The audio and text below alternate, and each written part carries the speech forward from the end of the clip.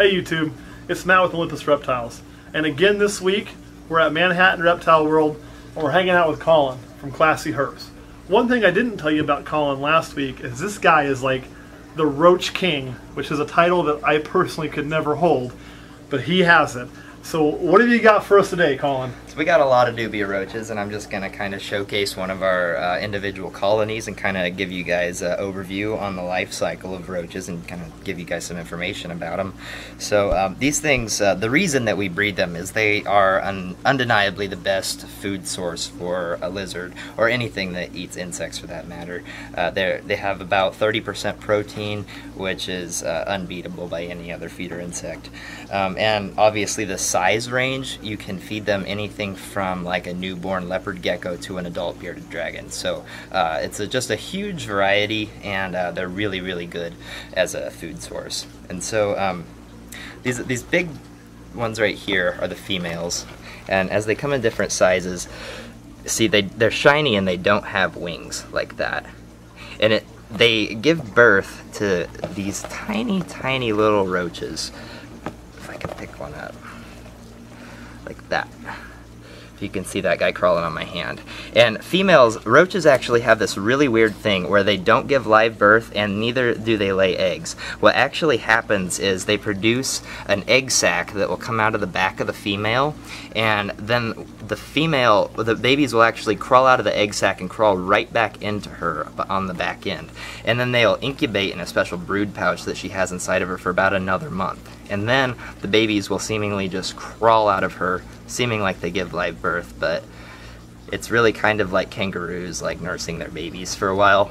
And uh, so when they come out, they're about that size. And then as they grow, they have to molt their skin like all insects do. And so you can see here's a little bit bigger one here. And this is what they look like when they molt.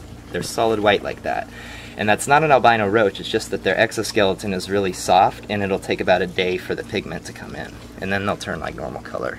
And so you can see they grow up a little bit bigger and they go through about seven molts until they hit maturity. And it's really, really hard to tell the difference between a male and a female roach as a nymph, which are these immature, kind of dull brown ones. But once they hit that seventh one, they mature into either a male or a female. And as you can see, the, the females don't have wings, the males do. There's an obvious difference. Um, so yeah, and then the females actually keep growing a little bit. You can see this is kind of a smaller one and that's kind of a bigger one. And as they grow, they'll actually give birth to more babies. And they have babies about once a month and they'll have about 20 to 30 at a time. That is like completely creepy. Yeah. I'm not gonna lie. Uh, and like, I don't know if you saw the big box in front of her feet here. How many roaches did you estimate are in this box? I you had to guess. Thousands, thousands. I don't even think you could estimate, honestly. So get, the, the, the thing about roaches is they really like to hide, so they're always going to be at the bottom, especially when they're exposed to light. They really don't like being out in the open. It's because they have no natural defenses except for their ability to hide. And so this is what a dubia roach colony looks like. And as you can see, there's babies um, and adults in here of all different ages. And the cool thing about roaches uh, is the females can live for two years and uh, it takes six months from when they're born to grow up to maturity to when they can start producing. So that means about a year and a half they're having babies every month. So they live for a long time compared to crickets which go through their whole life cycle in about a month. That's really cool, but what about these things get out in your house? the really cool thing about these guys is uh, they come from a tropical area down in South America, so they have to stay warm.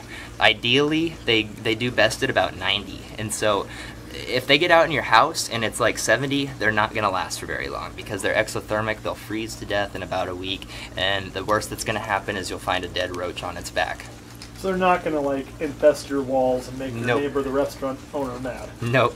Uh, the really cool thing about them too is they can't even really do anything. All they eat is uh, fallen fruit that uh, would have fallen to the forest floor naturally. So we feed ours apples and carrots and things like that. So they're never going to like chew into your house or anything. I tell you, Colin, there's a lot of things I'm into, but these have never been one. Yeah. You think it's about time to hold one then? Oh. One of these big females on you and give it a try. You guys don't realize that this like literally makes me cringe. but I'm gonna do it because you know sometimes you gotta put your big boy pants on. Oh my god, that's There just you weird. go.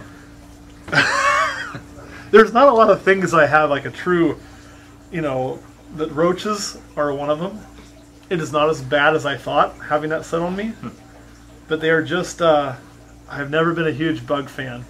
I, spiders aren't so bad. I've gotten used to them, but roaches are just one of those things that just literally give me the willies. But he's actually, or this is a she, right? Yeah, no that's wings. an adult female. Say I learned something. It's actually pretty chill. Yeah, the females are really calm and they're really thick-bodied like that. The males here are a different story. They have these wings, but they they cannot fly. Their wings are purely for like a display purpose to, for breeding.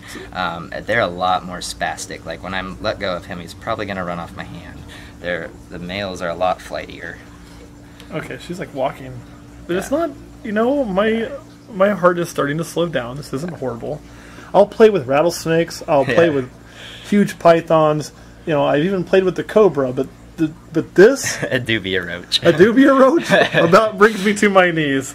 But Yeah. very cool. I'll let you have her back. All right. The, the cool thing about these guys too is how harmless they are, and the way that crickets can actually bite you. And I'm sure that everybody's kind of experienced that who's been around them long enough. But these guys literally can't even bite you, um, and so uh, the worst that they can do is crawl on you like that, and that's uh, It's it's a needed thing, and they are a great food source. Colin, thanks so much for sharing roaches with us. Kurt, do you have any questions?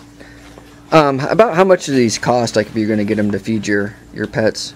Uh, they go up in price as you get um, as they go in size. So we sell them here in these individual cups for ten dollars a piece. But if you wanted to get some adults to start a breeding colony of your own, um, a lot of the times the adult females will sell for a dollar a piece, uh, cheapest pretty much anywhere. They're in a huge demand because they're fairly new to the reptile scene. It seems like everybody wants them, but nobody has them. And so uh, we're producing them here, so you can come and buy them at Manhattan Reptile World. Absolutely. Now, when it comes to breeding these, you mentioned they're a great food source. Have you noticed a difference since you've used these with your bearded dragons? Colin also breeds some bearded dragons.